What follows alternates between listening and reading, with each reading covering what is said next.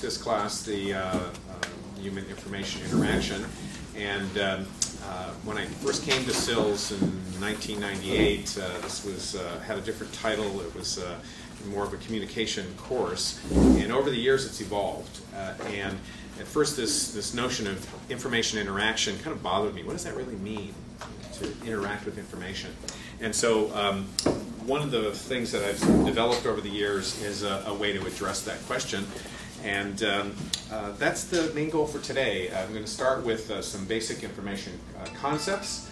We'll move from those information concepts uh, to um, talk about how that differs from communication and, and then the need, the need for interaction. And uh, close with um, uh, what I, I, think is kind of a sweet spot for information and library science and what, why I think this course is a good way to address that sweet spot. Okay, so uh, to begin, um, let's uh, think about some of the senses of information. What does that word mean to you when you hear information? Um, many people have tried. To, I, I don't know if I'll mess up the filming, but is it possible to turn off some of the lights? Sure. Yeah. Can you change? Can you close the, excuse me. How's that? Can you close um, Uh, that's better, thank you. So classically, uh, there have been sort of three senses of information, and so uh, Michael Buckland has written about this, as have many other people.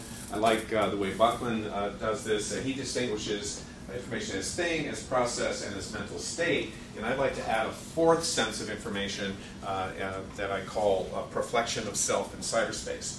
Um, what, what, what Buckland did in one of his books was to talk about these three kinds of, of information, senses, and he put them on a two-dimensional uh, kind of uh, uh, framework that had uh, uh, sort of nouns and verbs, if you will, uh, the things that were either processes or objects, and things that were either physical or ephemeral.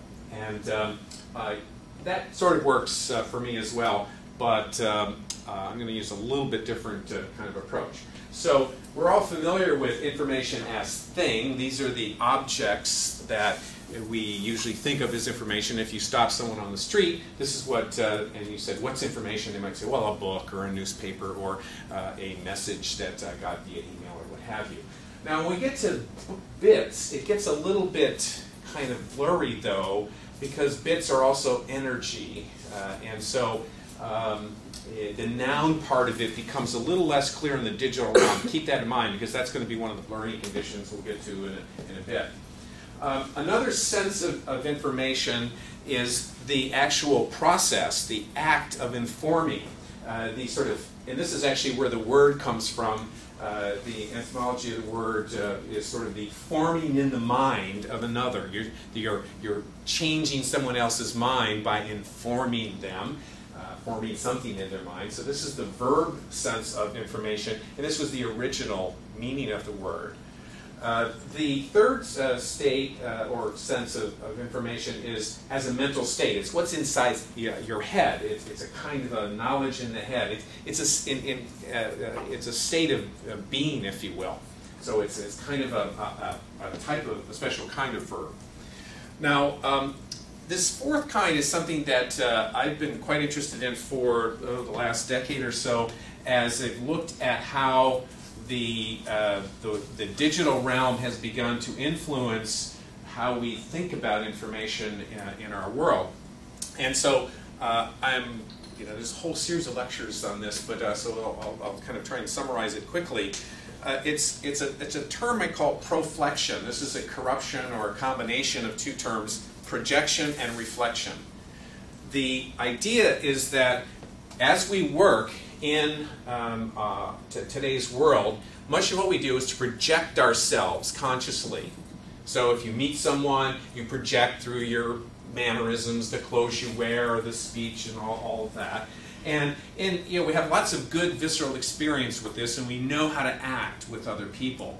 When we work in cyberspace, though, it's quite different. Uh, you, know, you might be on email, and next moment you're on a blog, and next moment you're on a website, and what's what's actually leaving you uh, is, is, is some information about yourself, your own behaviors. But it's all kind of mashed together. You know, we don't normally think, oh, I'm in email now, I need to act this way, uh, and I'm going to type with this kind of, of uh, um, rhythm, as opposed to when I'm clicking uh, through a website, I'm going to click on this website differently than I click on that website uh, because I want to act differently, more formally, or, or project a different image. So it's all kind of blurred together as, as one kind of, of uh, behavior. Um, so our projections leave in cyberspace exo information, information that leaves us. And in fact, um, many companies today depend uh, their, uh, on their very business uh, models for these reflections of ourselves. So every mouse click you make, every um, time you are doing a Google search and you have a clickstream pattern behind you, Google is, is leveraging that to make money because they're able to charge the, adverti- the uh, advertising fees based upon what kinds of click patterns occur. Uh, Amazon is able to make money by taking whatever you do and leveraging that to uh, make recommendations so that uh, maybe other people will buy a book or, or some product uh, because you did. Now, it's not you personally, it's you in aggregate with many, many other kinds of, of exo information. But some of us are a little bit concerned about the fact that a lot of this actually is very, very personal. And in fact, could be traced back to you as an individual. Last year, when uh, America Online uh, released uh, their uh, search logs uh, very temporarily, there was a big furor that came about as a result. And it became pretty clear that um, if you had logs, even anonymized logs, so that you, there was no identifying information in terms of the IP address or name, you could still pretty much identify anybody if you could get 200 of their queries. So uh, just the kinds of things you search for is going to lead to you. Uh, and and um, uh, so this is what one of the things that makes these pro, uh, these uh, projections that we consciously push out into space. We should be thinking about this a little bit more um, intensely. That's okay. I think we have control over that, and we eventually will get control over that. If you look at what's going on just in the Facebook, the students who sort of started their Facebook uh, profiles early on, yeah, didn't care much about privacy. That's changed even over the last year, right? So that and there's more consciousness about this. The second thing, though, is less under our control, and these are the reflections of ourselves in cyberspace. And what do I mean by the reflections? Well, it could be that somebody posts something about you. You might know about that, or you might never see it, because it's a big place out there in cyberspace, right? And so uh, some of this is, is generated by other people, commenting on your blog or uh, uh, on, on something you said or something you wrote, something you did. Taking your, a Flickr picture uh, of you across the room uh, and, and putting it up on Flickr and then um, yeah, sort of annotating it. Um, you know, the big the big mouth jerk across the way, right? And you may or may not ever see that. Um, that's again um, problematic, but maybe sort of handleable because you know we could probably send out our own crawlers to find out you know where are all the postings on Flickr that have my name. You know, and go kind of uh, find, them. What we do about that is a different issue. But these are reflections of us out in, in, in cyberspace. Now, there's, there's, a, there's a different sort of uh, reflection that is actually much more, uh, I think, impactful. And that's the reflections that are, are made by machines. There's a lot of machine cycles out there, a lot more machine cycles than there are human cycles. And they're all out there trying to figure out how to connect all of your actions and all of the things that are, are, are, are uh, that you do or about you together somehow so that somebody can get some money from you, mainly. Uh, or maybe just understand uh, the way life works sort of more noble cause. But nonetheless, there are an enormous number of machine cycles out there that are dedicated to creating these reflections of individuals in cyberspace. You put these things together, the projections you're pushing out purposefully or not so purposefully through the exo information, and the reflections that other people and these machines are creating of you, and we now have this kind of new senses of identity, new um, information resources that are out there in cyberspace that we didn't have before. We always had public relations, and so the people who were sort of uh, uh, you know, stars uh, would, would sort of hire people to, to shape the projections, but the reflections are really beyond their control. But, I mean, that, is a good way of, of bringing cyberspace into it, but I would also say, I mean, why couldn't everything you've just described for that fourth element really fit under, say, thing and object? I mean, your, you know, that your, your searching info is bits, I mean, which you mentioned, your, you know, that your email is written, the written word. Um, I think that what's different is that it's not static like things. It's constantly evolving and changing, and at any given instant, uh, only portions of it get revealed. So it's, it's a much more dynamic uh, sort of, of thing. It's not really a thing. It, it, um, it's sort of like, like we are. We're organisms, right? And, and so we're never exactly the same. We're always continually evolving and changing. And you know, those changes might be quite small, but uh, it's, it's, it's much more dynamic, and I think that's, that's really the, the main distinction. So these are the different ways that we've classically thought about uh, sort of information. Now, communication is another important term that uh, we often use, and sometimes communication and information are almost used uh, synonymously. I'd like to suggest that that's really not the case if you think about those different senses of, of, of information. Only one of them was kind of the communication sense. So communication is a process, and it involves two or more, and I think of it as human participants. You, I know you want to say you can talk to your dog and your cat, and they can talk to you, and, and okay, that's fine. But mainly, when we talk about communication, we're talking about people uh, uh, communicate with one another. I actually don't think machines communicate with each other or communicate with us. Um, one we usually call a sender, one a receiver, uh, that, or a creator and an audience. Um, the sender the, is an initiator uh, or the creator, has some sort of intention in order for it to be communication. It's not just random stuff that you're just pushing out there. Uh, the receiver's mental state changes. So, for it to be communication, in the receiver, something has to happen that changes them. Okay? Maybe only a little bit, but they have to have some change there. Uh, the time ranges here go from immediate, real time, to infinite. You know, that's why scholarly communication is, uh, you know, lives beyond our, our, our lifetimes because uh, you create something that communicates far into the future. And so Shakespeare is still communicating to us uh, through his writing. Um, it might be unidirectional. It doesn't always uh, certainly have to be, but it, it, we want to admit the possibility of it just going to, uh, there's no, no, feedback cycle. Um, and it requires some sort of medium to transmit uh, the, the message. And the messages or objects themselves have sort of two, are two, a couple of ways to think about them.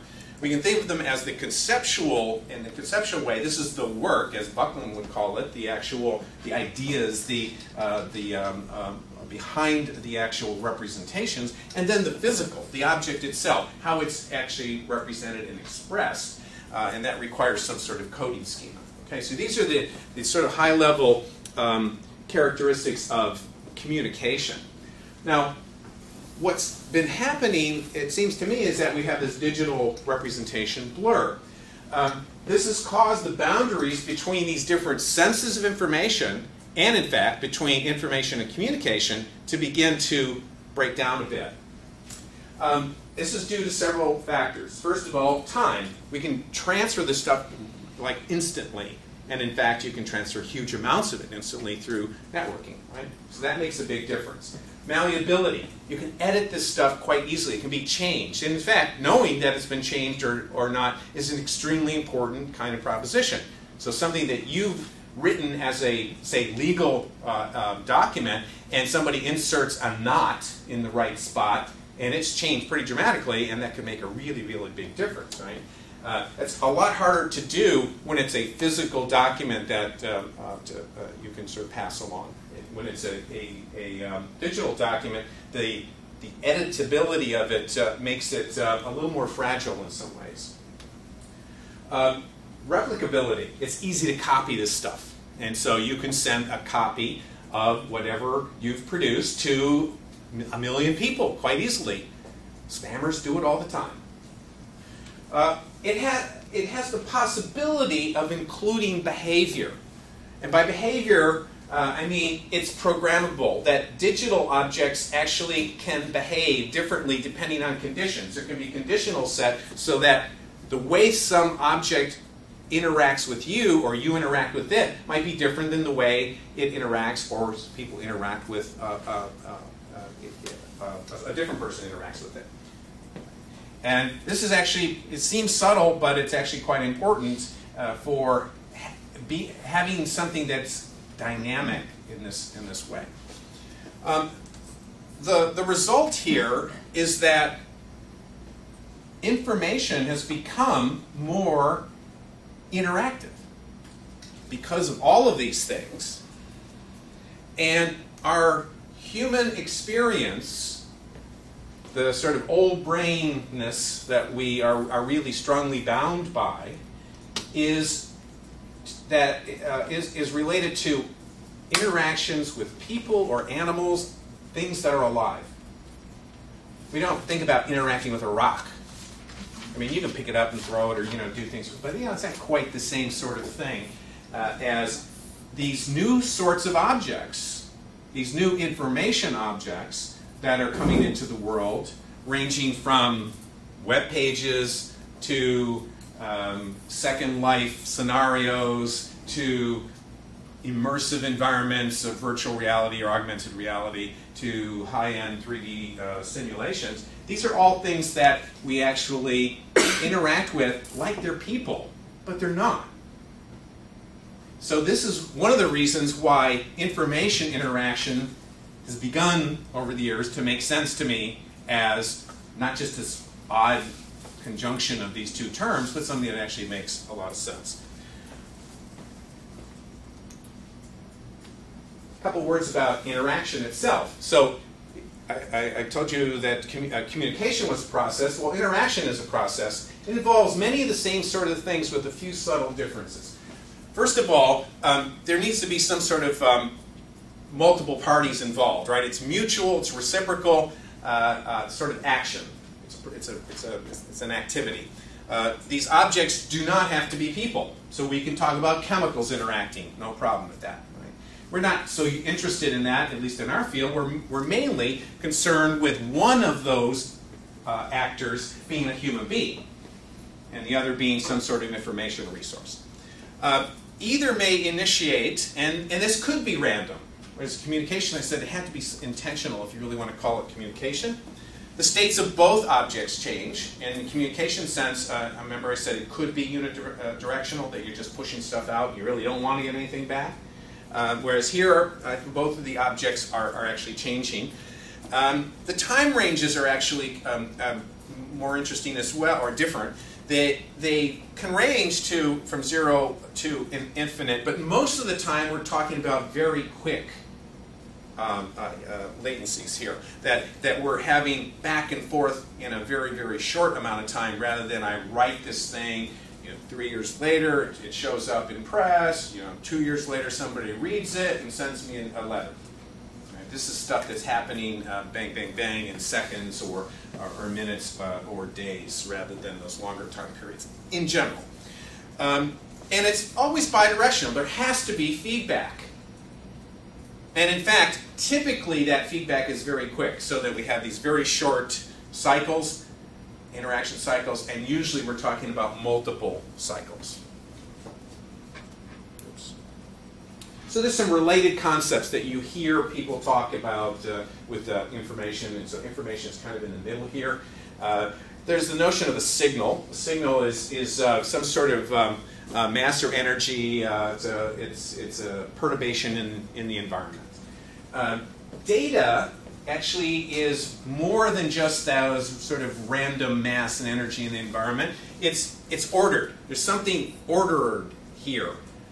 Doesn't have to be a lot, but it's, there's got to be some sort of coding or some sort of ordering that takes place for us to call it data, uh, rather than just you know, these flashes of light uh, that come from the stars. Um, information now is where it starts to get a little sticky is data, but the purists would say that it's data that's in a human's head. Um, that's a little strong, and I think most people today, and I would agree with, the, with this, uh, admit the possibility of information existing in computers and machines.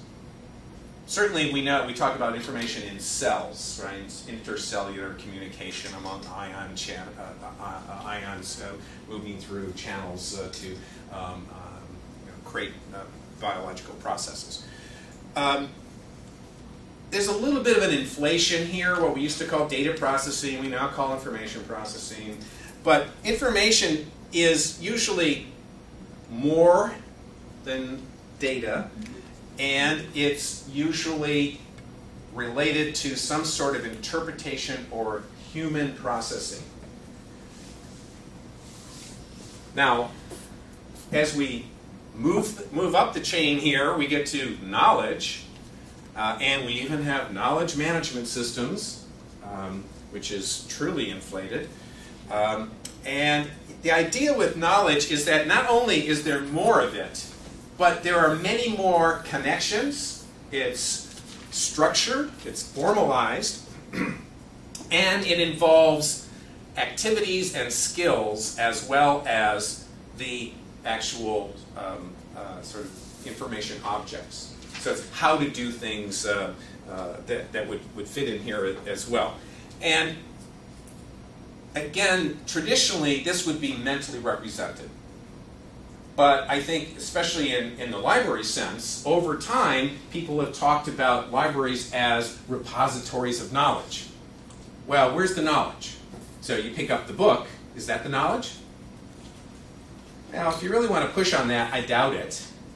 Now, if you said, here is the entire collection related to chemistry, and the indexing language associated with chemistry and a sort of table of contents or map of how the different branches of, chem of chemistry fit together, now you're probably talking about something that might be considered knowledge.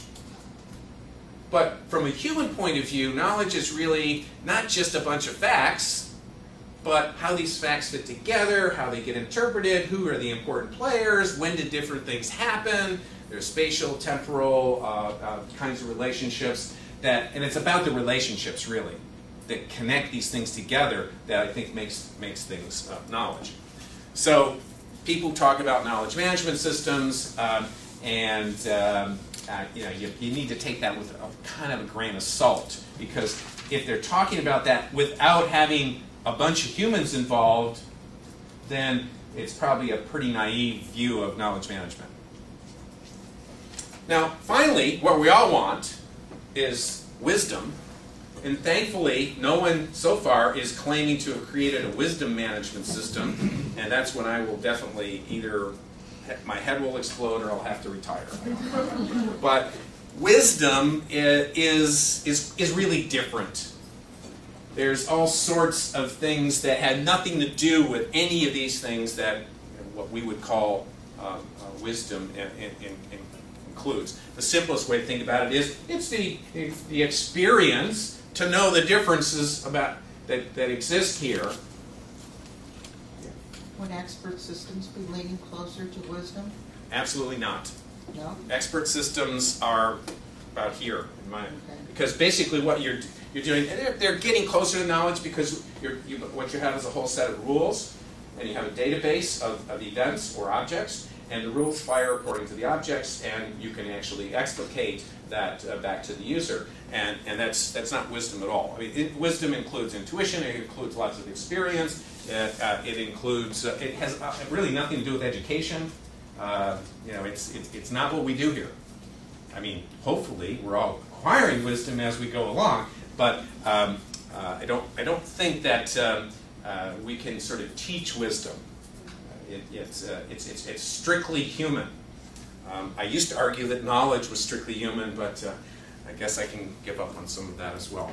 Um, um, because in, indeed, uh, if, you, if you agree that a library properly conceived or a sub, sub, collection of the library is you know, a knowledge base, you know, I, can, I can live with that. So, um, the, another concept that occurs a lot when we talk about information is, is the, the is a medium or, or the plural media. Uh, these are the forms of representation. And it seems to me there's kind of a hierarchy or a, a continuum of, um, of kinds of representations. Statistics are actually probably the most highly coded. So you look at this, uh, this table, and in the cell it has seven. What does that mean?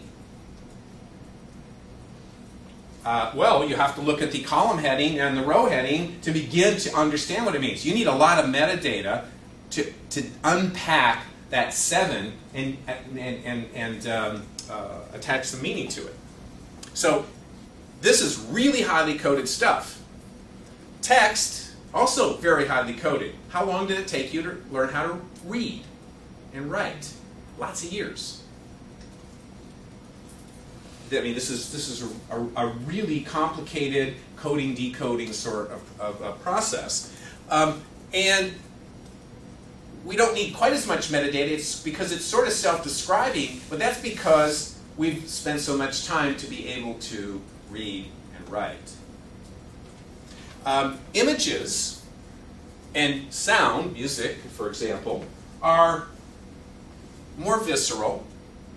You don't have to spend and in very much time at all to perceive an image or hear um, uh, a, a, um, a set of chords. I mean, clearly you want to be trained to actually appreciate that in a more deep way, but young children can pretty quickly recognize dog.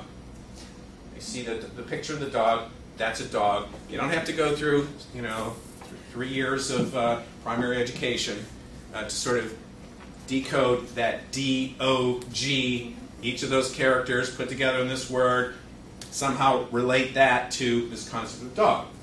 Okay, so these are require actually less metadata and less kinds of skills. And when we get to video, then it's even richer and more visceral. And virtual reality, supposedly, and, and if you get a chance uh, to go over to the computer science department here and, and, and participate in some of the uh, VR demos, it is astounding how real it is.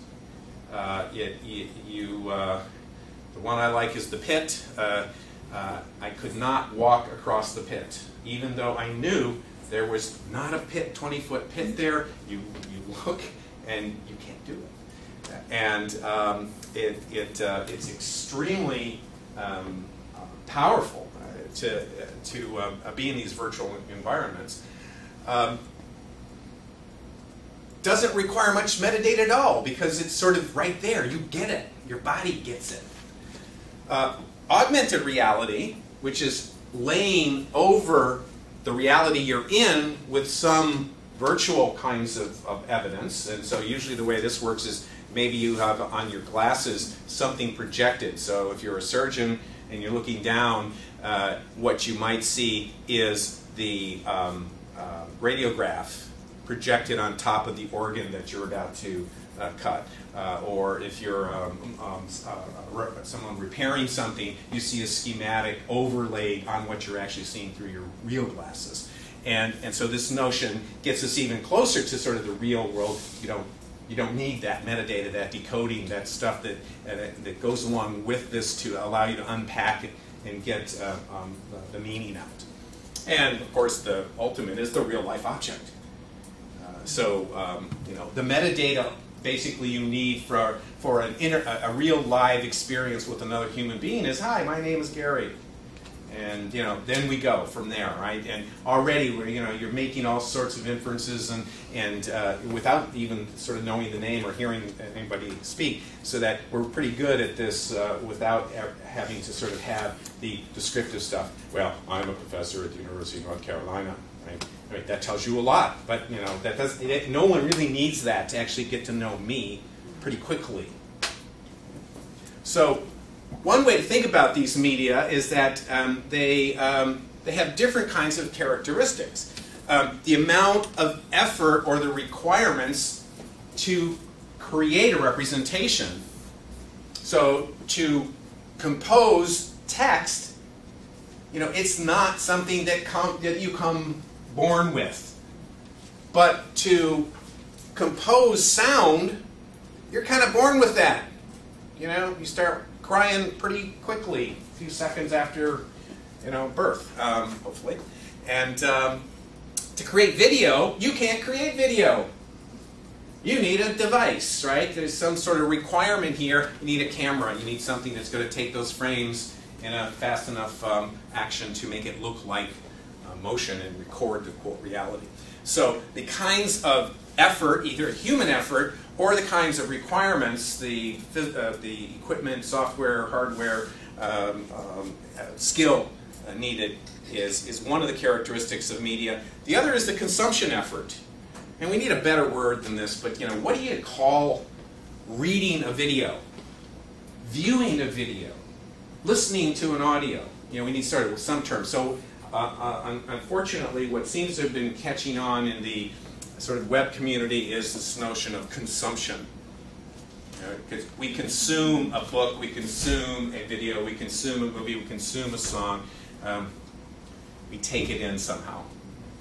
And but the, the amount of effort required to consume something and the, the physical requirements, oh, I need a, I need a screen to, to view it, or I need some speakers to hear it, or I need light to read it, I need the columns and headings to actually understand it.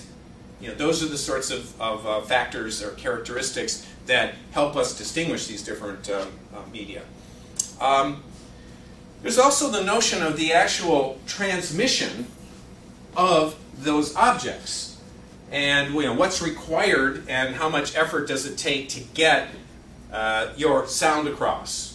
So you can scream at the, at the top of your lungs and reach a lot of people who are proximate. But you're not going to reach somebody 100 miles away. Um, this notion of how much effort or what kinds of help we need. I need an amplifier. If I only had a megaphone, or if I only had uh, a microphone and an amp, I could reach, you know, people all over the neighborhood. But I still can't go 100 miles. To go 100 miles, I need something else. I need a radio transmitter. I need some other kind of requirement to uh, actually uh, get to uh, my, um, my expression across. Uh, finally, and I've mentioned this uh, already, there's, there's descript description alternatives, and this, this is actually pretty important for information library science folks, because um, a lot of what we do is about uh, describing primary materials so that people can find them uh, in very large collections.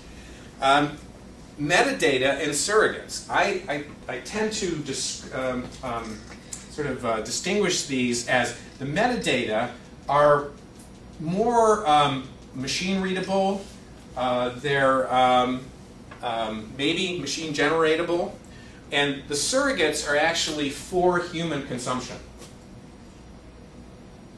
Um, different uh, lecture, but um, uh, that's sort of one way to think about this. And some, some of these kinds of media require special kinds of metadata, special kinds of surrogation. So a lot of our research here and, and our, our video work uh, deals with um, creation of surrogates for video. Now, um, in the early days, people in this class had to read um, Warren Weaver's interpretation of Claude Shannon. Oh, you read it. Great. Okay, good. Great. So, um, then I'll go really quickly because you all understand it totally, right? Yeah, I know. Uh, um, you know, I've been reading it and rereading it for most of my adult life, and it's still very numinal. It comes and goes. So, um, what Shannon uh, uh, approaches uh, is, is the technical problem of information. And um, you know, he used a problem-solving strategy, which is basically simplify the problem, and then you can create a model, a mathematical model. And this is this is done over and over again. It's what actually gets us uh, a lot of our human progress. Um, the unit of information of interest here is the bit, which is a corruption of binary digit. Uh, And it's the, the, the unit of choice or the uncertainty in the source. And I'll give you an example of this. I know it seems backwards, right? That information is a reduction in uncertainty. There's too many negatives there, but it actually helps in terms of formalizing the, the mathematics. Um, the rate of information flow, what we tend to think of as kind of the, um, uh, the throughput or bandwidth capability, and usually in bits per second, um, it's also called the entropy. And entropy comes from physics, um, uh, but here we, it really means how quickly you can reduce the uncertainty in someone's head. So uh, if you ask me a question and there's some uncertainty in your head, uh, there could, there's an enormous amount of uncertainty. If it's a question that's a binary case, yes or no, um, then as soon as I reply, I've completely reduced the uncertainty. If it's a wishy-washy reply, I've only reduced it somewhat. That's what usually happens.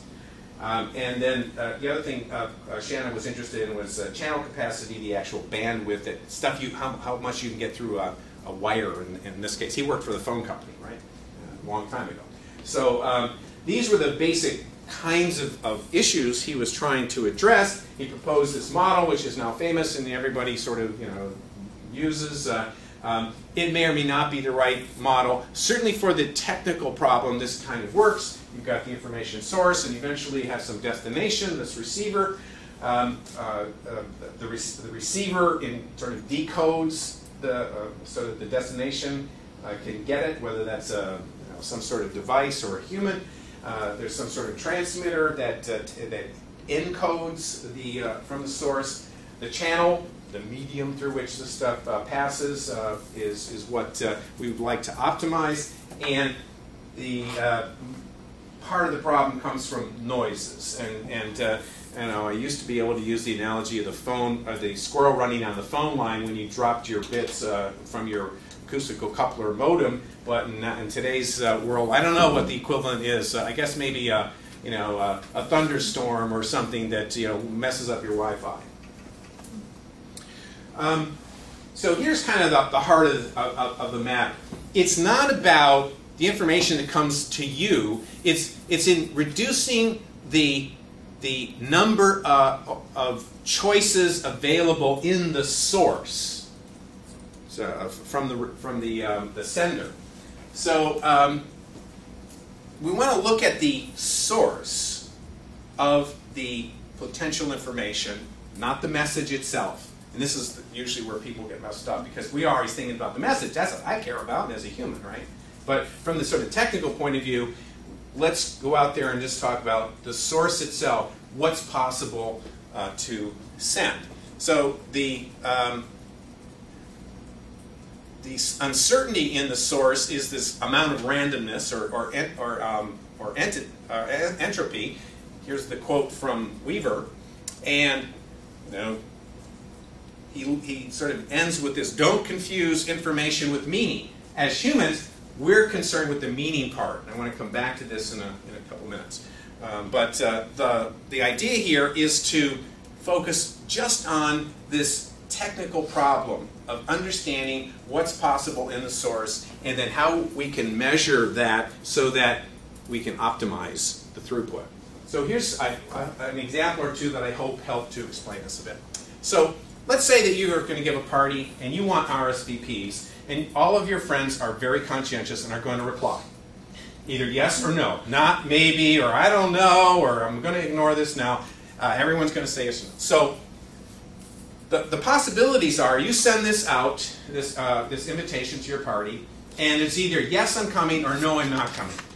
So when I don't have any, my response from you yet, what I've got is some uncertainty. The amount of uncertainty I have is complete with respect to this problem. Now, as soon as, how many choices are there now? Just two, right? Either you're coming or you're not coming. As soon as you tell me you're coming, I've now reduced my uncertainty. What was what were the possibilities I had? Yes. I had yes, no. There were two. I've now reduced my uncertainty because I now have an answer. We would ca- characterize this as saying that the amount of uncertainty or the amount of information is 0.5 because there were two possible choices. And so when I get the answer, I've now reduced the my n- not knowing about you coming by half because I could have guessed, right? Yes or no. But now I know, and so the difference between my guess, 50 50, and my certainty now, 100% you're coming to my party, is one half. Yeah, sort of, maybe. Got it. Good. Okay. Uh, here's a, here's a, maybe a little, little more robust uh, example. Let's suppose you want to create a visual language of icons for design, uh, web design or something. And you're going to have, say, 32 icons in your uh, language. And so you're going to put these, these 32 different uh, icons up there, and that's going to totally um, uh, re, um, define the, the complete kinds of communications that can take place between the user and the system. This is, you know, 32 is a lot. Uh, and in this case, if you want to do the sort of um, an analysis from the Shannon point of view, if there are 32 possibilities, and I now see its, um, you know, the triangle shape, I've now reduced my uncertainty by how, by what portion? One, one, thirty-two, thirty-seven. Well, thir- thir- thir- 31, 30 seconds actually. I've reduced the uncertainty, right? I mean, I, I've now gotten rid of a lot of uncertainty because there was this a, a, a, a big range of, of stuff before. 32, I now have the answer. I've gone from 1 down to certain uh, uh, to uh, the well from the one, 132nd, which would have been my guess if I had just randomly picked one, to 1. Okay? So this is sort of the way it works. Uh, mathematically, this is kind of neat because um, if we talk about bits, which are these binary digits, we can use um, um, base 2 logarithms. And this situation with 32 icons is said to contain 5 bits of information. Because with 32 things, you can permute ones and zeros, uh, 30, uh, uh, 32 uh, in, with a, a string of 5 characters. Question? Yeah. So, like evites, you get three choices. You get yes, no, and maybe. Right. So, how would that fit into your? Instead of uh, uh, um, instead of be, being one one half, I could guess one. My my, my chance of guessing would be one third, Okay. right? And so once I get the response, I've now reduced my uncertainty by two thirds. But what if it's a maybe? Well, that that's. I, I I still don't know uh, for, for, for sure, but in terms of the information system, the technical problem, I reduced it by two thirds. Because there were three possibilities. Okay, I see what you're saying. Whether you actually show up or not, well, that, that's a meaningful thing that I'll find out when, when you actually uh, come. So, um, there's a whole bunch of um, assumptions here. It assumes that each choice is independent. Of course, we know in the real world that this is way too simple. What I said earlier. He simplified the problem just you know, so he could build this mathematical model. He, he then did the work to build mu- much more robust kinds of schemas, but the, this was the basic i- idea here. Um, this led him to think about the problem of well, what if you had more than one choice? Like, you're going to send a bunch of text through the wires or a phone conversation through the wires. And, well, if you know that one word or one character has, has uh, been sent, then you can probably make some prediction about the next one and save some bandwidth. Reduce the amount of entropy that is there for the next character or the next word coming down. So the, the, the example in English that, that we always use is if you know that a Q has been sent and the last and the next thing is not a blank, then there's no information, no new information. You're not reducing your uncertainty by any by sending the next bit. So you maybe just skip it in the actual system. Now, when you display it on the user side, you probably want to put the U that comes after it. But as far as the system is concerned, it's for sure going to be a U. So Shannon invented coding theory back in the 30s. Uh, and a lot of the compression stuff uh, that we do today is dependent on some of his work. So that was uh, just a whole separate sort of um, um, contribution there. Okay, moving more quickly.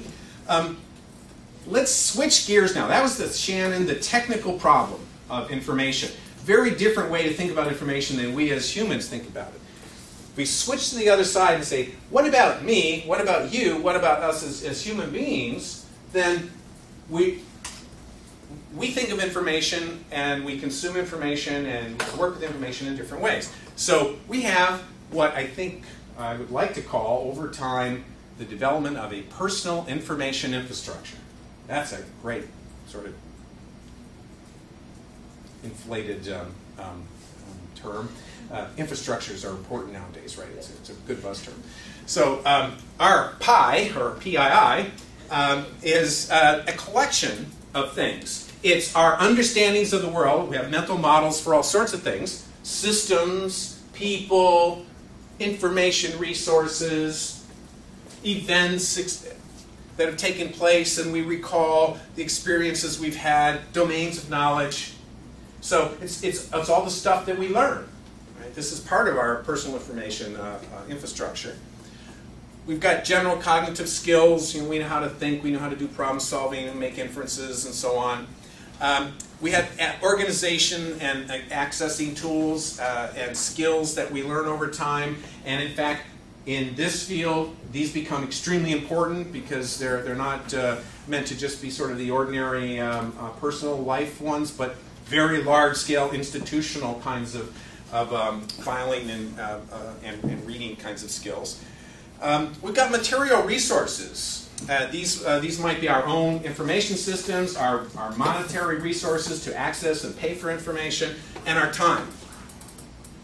And one of the reasons that people hire librarians and information professionals is because they, are, they want somebody else to take their time to acquire, manage, compile, process information. Uh, and we've got meta, metacognitive kinds of resources. We plan, we monitor, you know, we, we pay attention to what we're doing as we go along. One of the interesting problems in search today is uh, we have a hard time studying how people search because all we're doing is collecting their click streams and getting these little snapshots. That's what all the search engines are doing. Uh, but to really understand the search process, you know, you need to get into, inside people's heads, and that's very hard to do. Um, we also have attitudes, and so part of our personal information infrastructure is about attitudes. Attitudes about information, about information seeking, about search, and about knowledge acquisition. I mean, you're all in graduate school, so you're like totally over the top when it comes to having a positive attitude about learning. But, you know, that's not universal. And uh, we sort of have to sometimes uh, step back and, and remember that when we're working with people who maybe are not quite so passionate about knowledge acquisition and seeking information as we are. So, seems to me that the sweet spot for this field, or a sweet spot for this field, is to be the bridge between the Shannon-like technical communication and information issues. How do we actually build better systems? How do we get um, uh, more, more robust, more powerful, uh, cheaper, uh, more efficient, effective kinds of information systems. And the human side, how do we actually learn better? How do we think better? How do we actually um, uh, enrich people's lives with information and hopefully knowledge so that they can achieve wisdom maybe uh, on their own? Uh, and that's really, I think, what this class is about, is to sort of begin to you know, give some definitions that allow us to work toward that aim or that goal of bridging this gap. You know, we have to know about the technical stuff uh, so that uh, we can understand what the engineers are doing and help guide the engineers and tell them what to do. And we have to understand the human side so we can understand the needs uh, and, and, and, better meet the, those needs uh, uh, through our um, professional lives. and so that's why it seems to me that human information interaction is a core course here, and um, uh, why it continues to be, and how it's going to continue to evolve uh, in the years ahead because it sort of sits at this intersection between this uh, technical and uh, human side of information. Okay? Questions? Are you gonna um, put that on our site? Yeah, I like that last page, Yeah. that last slide. You like the last Is slide? that available to our professors so we could have Put it on? Sure. whiteboard? I'll, uh, actually, I'll put it up. Uh, yeah, yeah, I'll, I'll Or send it to you. Yeah. the PowerPoint Yeah. presentation? Yeah, it's it's available in various forms in other places, but yeah. I'll send it to you. Yes. I have a question, not so much dealing with uh, human information interactions, but sort of after reading the first three chapters, your understanding of technology sort of, um, we, we have this very generalized understanding of technology as being beneficial. It sort of broadens horizons to no limit, right? Sort of the wider technology, the, the greater amount of technology that we have at our fingertips to connect expands information and communication. How do you feel about sort of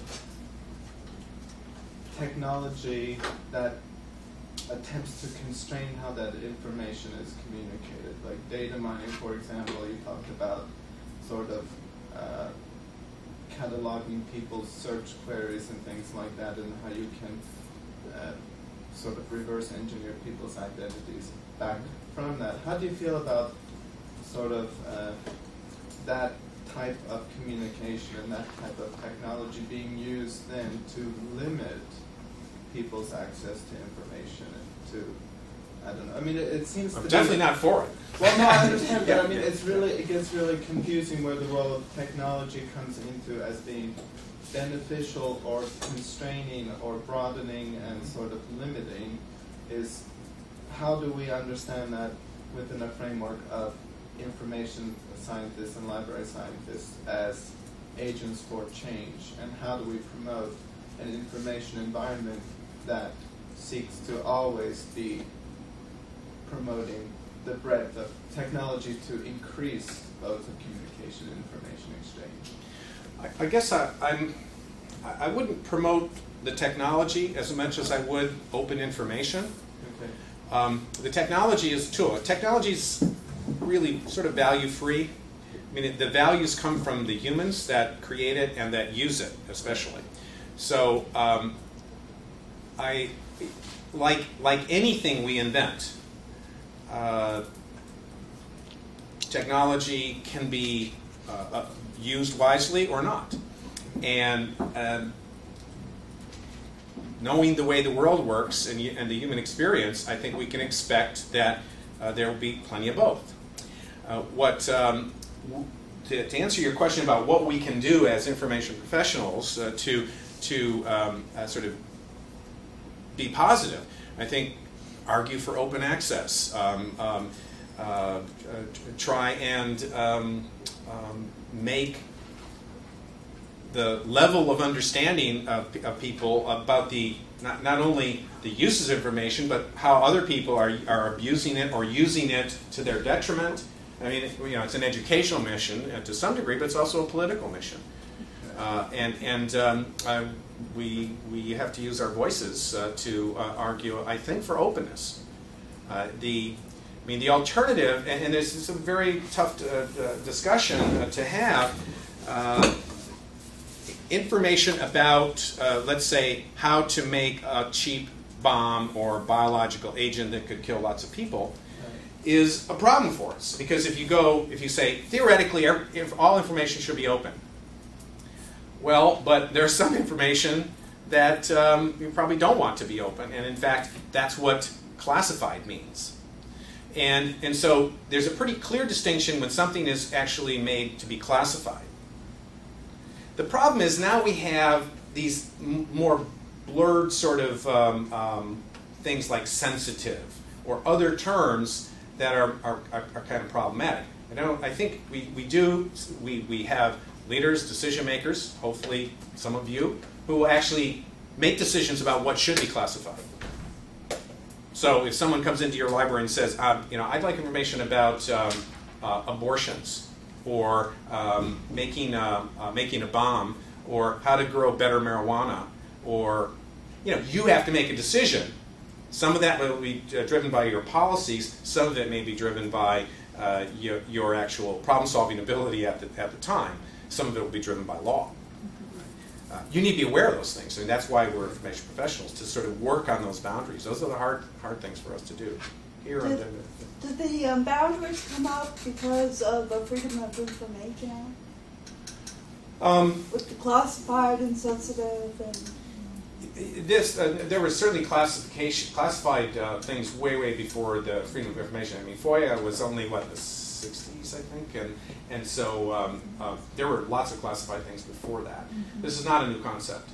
Um, it, the, the Freedom of Information Act does begin to um, uh, have implications here, and, and because it's a way for us in this particular country to perhaps um, appeal and, and get access to things. But this is a much broader issue that's been around a long time. I work at a public library and we're pretty laissez-faire about what people want to know about. We don't really get involved in whether they want to build bombs or grow better marijuana plants. We just get them the information that they seek. So I'm not really sure that I feel like, I mean, I think I would be more concerned about what if they wanted to know about the water supply or something like that, you know. but like, if they want to learn how to build a cherry bomb and blow it up in elementary school, I mean, whatever, you know what I'm saying? Kids are going to be kids. But I mean, I'm not. Well, um, you know, I mean, I don't know. I mean, I just, I don't know. People, I mean, you know. so I mean, this And this there are standards, Th- and there are, there are professional standards that suggest in libraries that the intermediary not transmit their particular value system or really enact their particular value system when they're helping people. But how far does it go? That's the ethical We can't. I mean, we can't, I mean, that's in our policy. We cannot tell a child they can't check out, say, the joy of sex. I mean, we can't do that. That's for their parents to like legislate that. That's not our job. Mm-hmm. You know, so, I mean, I feel like, you know, if you ask about the water supply, that's one thing. But if you ask mm-hmm. about, hey, some information on a cherry bomb, I'm not gonna be like, Sure. no. You know what I'm saying? So you set up your own boundaries based Right. on your value system, based on your, your personal information architecture or infrastructure. um, when you're acting as a professional. Mhm. But that, you know, part, to me at least, part of being a professional is that you've acquired information, you have turned that information into knowledge, and then you are making knowledgeable decisions. Mhm. Um, that's in a way what they pay you for partially. Exercise judgment. absolutely. One last one, and then um, I know you have to. You're going to do the anomalous states of knowledge, and that's a fascinating discussion. Yeah. You mentioned that uh, you, in your definition of communication, you excluded uh, computers or machines. I was wondering if you could say a little bit about why that, why that is. Um, well, just to, to make a sharper boundary between communication uh, and uh, interaction, really. Uh, that um, the, I don't really think you communicate with a computer or with a machine. Uh, you know, I you know I call my car names all the time, or uh, and, but I don't think that's communication. So uh, what I'm trying to do is actually sort of, I guess, um, put a human face on communication. Just in a place for interaction to differentiate. yeah, to, to actually to try to create some of the boundaries that so we can talk about these things uh, um, in a reasonable way. You know, is that the official definition of communication that the you know some professional society would give? Probably not. We used to call it human computer communication, uh, and you know that just never kind of made it to me. I mean, human computer interaction is a lot better, but it's still kind of weird. You have a question, another question? uh, no, I was just gonna make a comment. Um, yes, you have standards, but at the same time, you gotta make information available to everyone, and it's just, again, it's judgment calls. And to be able to, um, you know, reach people, you need to be able to speak their language. To be able to educate them. I have a question, I was wondering if we might, we've been talking in class about the concept of noise. And I've been maintaining that noise can be thought of as a positive in a positive form. Um, we're not sure about that though. I wondered if you would tell us a little bit about your idea of noise, or what noise does. In, in the Shannon sense, noise is bad. I mean, you try to minimize it, avoid it, get rid of it, filter it out. That you know that so it's clean, clear and cut. Right. In the real world, of course, noise is quite good. If you don't want in a busy sort of place to hear it will be overheard, you know, you go to a noisy place so that uh, you know it acts as a filter. Um, um, the Paul Dourish, who um, writes a lot about sort of social networking and, and, and uh, sociology of computation, uh, he talks about um, um, strangers. And if you wouldn't have an identity if there weren't any strangers. And so, um, you know, you, you need, and so like, I think it's like that with noise. I mean, noise might be the background that allows you to see the foreground. Uh, and, um, you know, if you want to be gestaltist about it, that's an important thing. So, yeah, I think there can be some positive aspects of noise from the human side, but from the Shannon side, it's just bad. You know, we want to get rid of it, minimize it. Well, enjoy Belkin. Yeah.